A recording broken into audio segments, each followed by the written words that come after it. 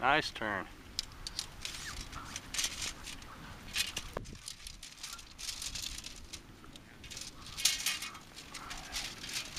This is going to be an excellent run here. Zac Majors. Oh, oh, he got through it. He was there. He didn't know where to go right there. He had a hesitation. It sure does, man. Just so you know, whoever wins first in open class are taking home a combat. It's oh, oh it's the only trophy with winglets. Oh, come on, man. Damn it.